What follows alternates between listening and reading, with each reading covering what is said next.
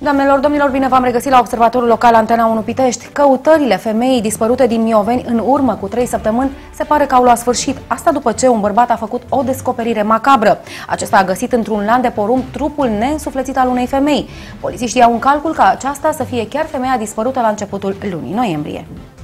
Cele mai mari temeri ale familiei femeii care a dispărut în urmă cu câteva săptămâni s-au confirmat. Trupul nesuflețit al femeii a fost găsit pe un câmp cu porumbi, aflat în spatele unui supermarket din Mioveni. Locul în care a fost identificat cadavrul se afla la doar câteva sute de metri de blocul în care locuia femeia. De aceea polițiștii bănuiesc că trupul îi aparține acesteia. Teoria anchetatorilor se bazează pe descrierea făcută de familia femeii. În momentul dispariției, rudele acesteia au anunțat că Florina Seileanu era îmbrăcată în blugi, cu o geacă sport și adidas în picioare. Corpul neînsuflețit găsit pe câmp ar fi avut asupra sa, pe lângă o parte dintre hainele din descriere, și un inel care îi aparținea Florinei Seileanu. La blocul în care locuia femeia, vecinii sunt în stare de șoc. Știam că e dispărută, că am dat cheia după aceea de pe la subsol, dar nu, dar nu că moartă la omul ăla. Aseară au găsit-o aici pe un câmp. Dumnezeu să o odihnească. După starea de degradare a trupului, anchetatorii bănuiesc că femeia ar fi moartă de cel puțin o săptămână. Medicii legiști au ridicat trupul neînsuflețit pentru necropsie în vederea stabilirii decesului. Un bărbat din Argeș a avut parte de un sfârșit tragic. Omul și-a pierdut viața în urma unui accident de muncă. Acesta se afla cu tractorul într-o exploatare forestieră, iar utilajul pe care lucra s-a răsunat de mai multe ori, strivindu-i corpul în cabină. Din păcate, manevrele de resuscitare ale cadrelor medicale au fost fără succes. Bărbatul se afla în satul Zădic pentru niște lucrări. La un moment dat, din cauza unui drum mai accidentat, a pierdut controlul tractorului pe care îl conducea și s-a răsturnat de mai multe ori. Apoi, utilajul s-a oprit în crengile unor copaci. Bărbatul a rămas încarcerat în tractor și a avut nevoie de echipele de descarcerare pentru a fi salvat.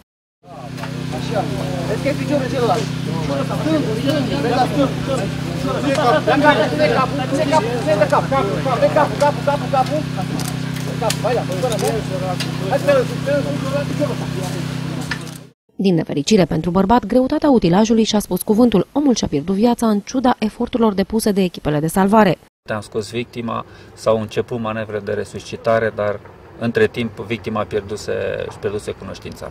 La fața locului au venit reprezentanții Inspectoratului Teritorial de Muncă. Au adunat probe la fața locului și s-a întocmit dosar de cercetare penală privind împrejurările în care s-a produs nefericitul accident.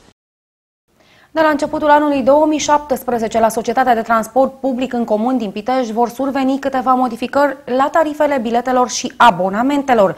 Dacă unele etichete vor înregistra majorări ale prețurilor, vor fi și abonamente ale căror tarife vor fi diminuate și amenziile vor fi mai mari pentru călătorii prinși fără bilet. Majorări tarifare vor avea abonamentele pe o săptămână și două săptămâni pe una din liniile de transport. Abonamentele pe o săptămână, pe o linie, să se scumpească de la 15 la 20 de lei. Abonamentele pe două săptămâni pe o linie și pe, uh, pe o linie de la 31 de lei la 38 de lei. Autoritățile vin și cu vești bune pentru piteșteni. Se vor ieftini abonamentele nominale pe două linii, abonamentele nominale pe toate liniile și abonamentul nenominal pe toate liniile. Abonamentele nominale pe două linii se vor ieftini de la 95 de lei la 70 de lei. Abonamentele nominale pe toate liniile de la 140 de lei se vor ieftini la 80 de lei, 60 de lei deci. Abonamentele nenominale pe toate liniile de la 174 de lei se vor ieftini la 150 de lei.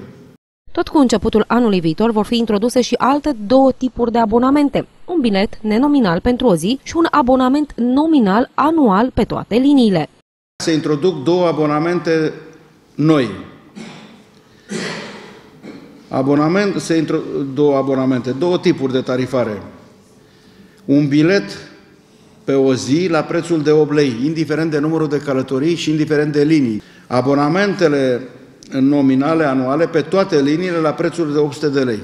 800 de lei pe un an de zile, pe indiferent de câte ori urci, cobori, pe orice linie dorești, ori de câte ori pe zi. Din 2017, pasagerii care vor călători fără bilet sau abonament riscă să plătească o amendă mai mare. Aceasta va crește de la 22 de lei cât este în prezent la 40 de lei. Au intrat pentru prima oară într-un studio de televiziune și au fost surprinși de ceea ce au văzut. Apoi au încercat să prezinte observatorul și s-au descurcat de minune. Este vorba despre câțiva elevi de la Liceul Teoretic din Costeș care au preferat să treacă pragul stației Antena 1 Pitești. Iată cum s-au descurcat copiii.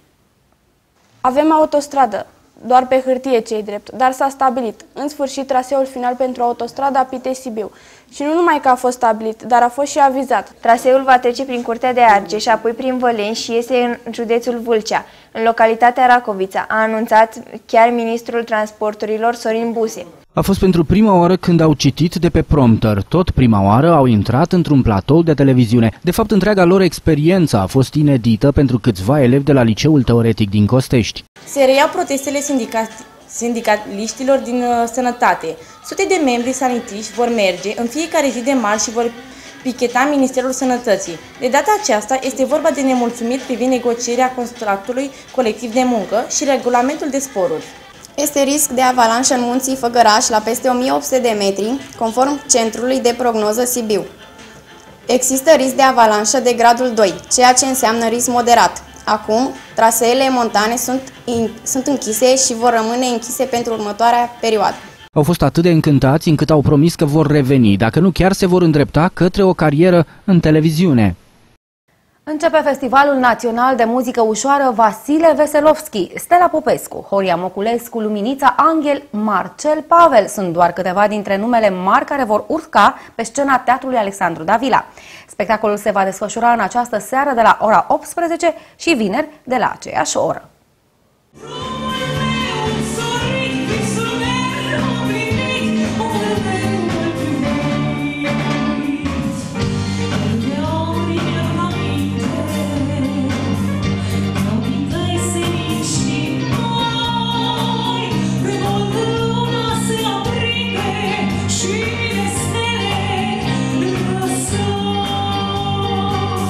20 de tineri s-au înscris în concurs și vor interpreta câte două melodii. Este obligatoriu ca una dintre ele să aparțină marelui compozitor Vasile Veselovski. În prima zi a festivalului va avea loc concursul, urmat de recitalurile celebrei actrițe Stella Popescu și a cântăreței Luminița Angel, care va fi acompaniată la pian de maestrul Horia Moculescu.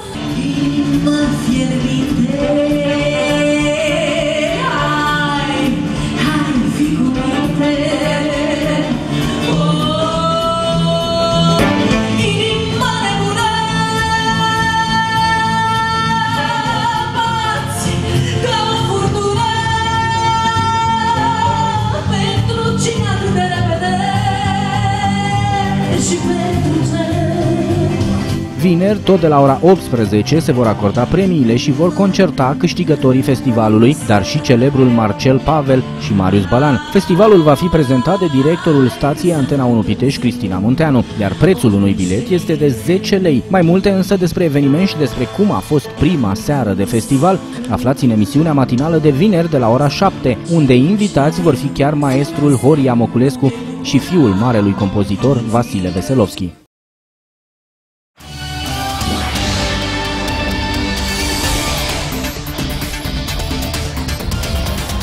CS Mioveni a recuperat miercuri ce a pierdut etapa trecută pe propriul teren cu Luceafărul și s-a întors cu 3 puncte din deplasarea de la Afumați. Galben-Verzii au câștigat cu 2 la 1 golul victoriei venind pe final. Argeșenii au făcut o partidă bună la afumați și au reușit să deschidă scorul pe finalul primei reprize, după ce până atunci au mai avut câteva ocazii pe poartă. Staicu a marcat din 11 metri în urma unei faze în care, pe un contraatac, Aiza a fost faultat în careu. După pauză, gazele au ieșit decise de la vestiare și au reușit egalarea destul de repede. În minutul 53, în urma unei neatenții a apărării la o fază fixă, respectiv un corner de pe partea dreaptă. Vlada a înscris cu capul din 2 metri. Cu 7 minute înainte de final, Mioveniul avea să dea lovitura de grație. Edi Stoica a continuat excelent, o fază pe partea stângă, a șutat de la marginea careului pe colțul scurt, iar portarul a scăpat mingea în plasă. Victoria așadar pentru CS Mioveni. Trei puncte foarte importante care ajută echipa să spere din nou la primele locuri. Fotbaliștii de la SCM Pitești se pregătesc pentru o nouă etapă de campionat. Echipa pregătită de Nicolae Dică va întâlni vineri de la ora 14 în deplasare pe Steaua 2. Nicolae Dică le cere elevilor săi să dea totul pe teren și să câștige acest joc pentru a păstra avansul de 9 puncte pe care SCM Pitești îl are față de Sporting Groșiori, ocupanta locului secund. Întâlnim o echipă bună, Steaua 2, pe teren propriu, joacă, joacă bine, cu jucători foarte mulți de la, de la echipa mare, chiar dacă sunt tineri, sunt jucători care au apucat să, să debuteze în Liga 1 și ne așteaptă un meci greu. Sunt jucători care fac diferența, pot să, fac, să facă diferența în ultimii 30 de metri, jucători de calitate. Mai au și 2-3 jucători cu experiență, Mitea, Dan Popescu și Chitoșcă, care regulat au venit la echipa a doua. Dar noi trebuie să fim pregătiți pentru, pentru acest joc, 100% și să reușim să câștigăm jocul, pentru că este foarte important să, să terminăm acest tur de campionat la diferența pe care o avem în, în acest moment de, de 9 puncte. Confruntarea dintre cele două echipe se va juca pe stadionul Electromagnetica și contează pentru etapa a 14-a penultima a acestui tur de campionat. Sâmbătă de la ora 8 la sala de atletică grea din cadrul sălii sporturilor va avea loc Cupa Argeșului la Trânte. La această întrecere pot participa copiii din mediul rural și nu numai. Competiția reprezintă și un criteriu de selecție pentru cei care vor să practice luptele greco-romane și libere, judo și box. Cei mai buni copii de la concurs au o bună șansă de a practica acest sport într-un cadru organizat. Directorul CSM Pitești Gheorghe Dinu spune că asemenea inițiative sunt binevenite. Vrem să facem o selecție Cred că este bună și pentru secțiile de judo, secțiile de box din Pitești sau nu numai. Organizatorii acestei competiții sunt CSM Pitești și LPS Pitești în colaborare cu Primăria Pitești, Inspectoratul Școlar Județean Arge și SCM Pitești. Antrenorii de lupte Vasile Pavelescu, Ovidiu Croitor și Cătălin Miron au explicat în cadrul unei conferințe de presă care sunt așteptările. Noi vrem să vedem cât de talentați sunt pentru acest sport cu niște reguli foarte simple, foarte uh, ușor de reținut, uh, nu se va pune piedică, nu se va strânge de gât și se vor opri, nu se vor strânge de gât și nu, nu, nu vor luxa brațe și se vor opri la fluier. Cine cade, cel care îl trântește pe celălalt, ăla câștigă. Lucrurile simple, care, în așa fel încât să nu încurcăm. Ei se vor trânti că asta e în firea lucrurilor. Toți am fost tineri, toți am fost copii, ne-am trântit pe unde apucam și cum apucam. Deci nu trebuie să le să impulsionăm în sensul ăsta. Ei vor fi dornici să se trântească. Ne-a demonstrat și turneele pe care le-am făcut în mediul rural, că au fost o efervescență foarte. Doamnelor, domnilor, acesta a fost observatorul local de astăzi. Vă mulțumesc pentru atenția acordată. Nu uitați că și mâine vă aștept la aceeași oră. Rămâneți cu bine. La revedere!